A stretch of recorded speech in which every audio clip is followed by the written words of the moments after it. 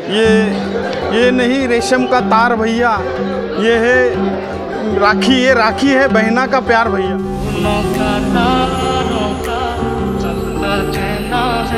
हमारी जो बहनें आई है उनको रक्षाबंधन के लिए उन्होंने राखी बांधा उसके लिए मैं उनका तय दिल से दिल में एक ये रखता हूँ। माँ जैसी तू कभी दोस्त मेरी देखिए, राजन भाई को भी राखी बांधा और आज मैंने देखने जाओ तो सभी बहनों के साथ मिलके सभी को राखी बांधने के लिए बाहर निकली हूँ। मैं इस्लामुद्दीन खान और आप देख रहे हैं प्रहार टाइम्स। राजनीतिक समर्थन के बाद अब रिदा रशीद ने राजन कीने को राखी बांधी और अब ये भाई बहन मिलकर विरोधियों का सामना करेंगे। मगर पहले आपको बता दें कि आज रक्षाबंधन के मौके पर रिदा रशीद ने मुमरा पुलिस स्टेशन में पहुंचकर ACP Vilas Shinde senior PI NV Kolhatkar और अन्य पुलिसकर्मियों के कलाई पर राखी बांधी है।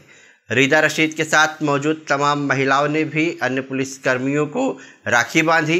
राखी बांधने के बाद पुलिसकर्मियों ने भी इन्हें उपहार दिया है। साथ ही ये भी बता दें कि रिदा रशीद ने राजन कीने को भी राखी बांधी।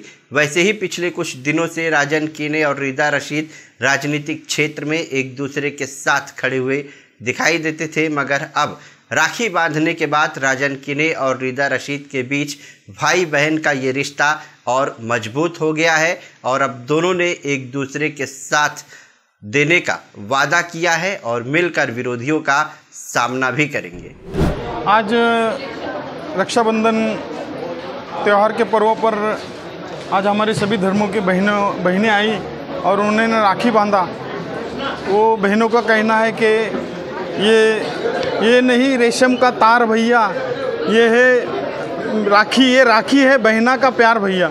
तो इस प्यार भरे रक्षाबंधन में जो मेरी बहनें आई है और मुझे, उन्होंने, उनकी रक्षा करने का ये बंधन बांधा है मैं हमेशा हमारी बहनों को यही कहूँगा कि आपकी रक्षा का जिम्मा मेरे ऊपर है और आपकी रक्षा करने का पूरा मैं ये रहूँगा। तो मैं सभी हमारी जो बहनें आई है, उनको रक्षाबंधन के लिए, उन्होंने राखी बांधा, उसके लिए मैं उनका तय दिल से दिल में एक ये रखता हूँ और उनकी रक्षा की मैं हमेशा ग्वाही हमेशा रक्षा के लिए उनकी ग्वाही देता हूँ। और ये रक्षाबंधन एक बहन भाई का प्यार का त्यौहार है। और उस प्यार में मिठास डालने के लिए हमारे रिदा मैम है मोरेश भाई है अमर करण सब ये यहाँ पर आज उन्होंने रक्षाबंधन के त्यौहार में शामिल होकर इस त्यौहार की शोभा बनाई उसके लिए मैं उनका सभी का तय दिल से शुक्रिया अदा करता हूँ। दादा जो लोग महिलाओं पर अत्याचार कर रहे हैं उनके लिए क्या संदेश रहेगा?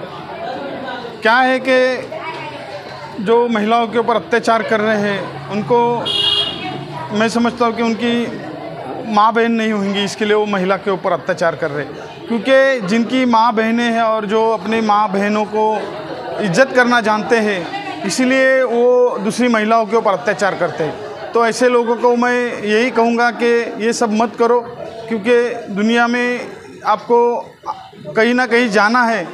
तो वो हिसाब से आप ये सब मत करो, महिलाओं के ऊपर अत्याचार मत करो। महिला है हमारी, माता है, बहनी है। और ये मत भूलो कि आज जो भी अगर पुरुष है तो वो किसी माता के इससे ही जन्मा हुआ है। तो उसको ये सोचना माँगता है कि वो अत्याचार करने के लिए उसको एक ही कहूँगा कि वो कभी इस चीज़ को सोचेगा तो वो कभी महिलाओं के ऊपर अत्याचार नहीं करेगा। तो पुलिस स्टेशन गई थी, वहाँ पर भी पुलिस वालों को राखी बांधा। खास तौर पर आप राजन दादा से मुलाकात की, उनको भी राखी बांधा है। राजन दादा ने आपकी रक्षा के लिए क्या ज़िम्मेदारी ली है? क्या बताएँगे सभी को सलाम नमस्कार, जय भीम।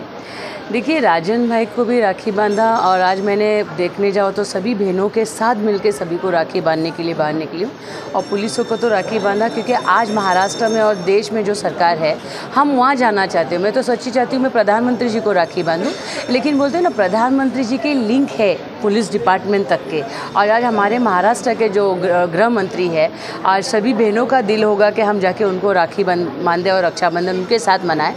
तो पुलिस भी उन्हीं का अंग है तो उसके लिए मैंने आज पुलिस लोगों को भी राखी बांधने का और उसमें सोने पे सुहागा ऐसा हुआ कि आज हमारे एस साहब भी आ गए। देखिए, बहनों की आवाज़ थी, बहनों का दिल था। तो आज अचानक एस साहब भी आ गए, सीनियर साहब और बी सब साहबों के साथ हमने रक्षाबंधन मनाई। और राजन भाई के साथ रक्षाबंधन बनाने का एक अलग ही आज एक महसूस है, क्योंकि जो लास्ट टाइम आप लोग को पता है, मुझ पे या मैं बहन पे जो हुआ और जैसे जैसे हुआ अगर एक क्षण और एक मिनट अगर मुझे छोड़ा नहीं होगा मेरे भाई ने तो वो है राजन भाई।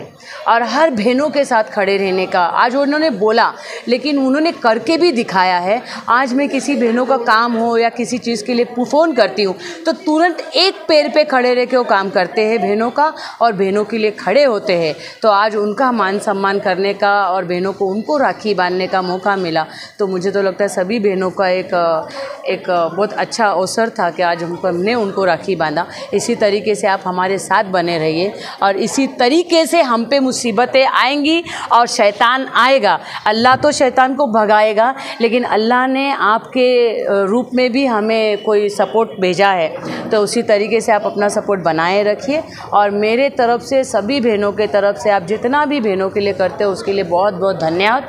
आज हमने राखी बांधी, उसका आपने राखी कबूल किया और हमारे भाई बने उसके लिए भी बहुत बहुत धन्यवाद।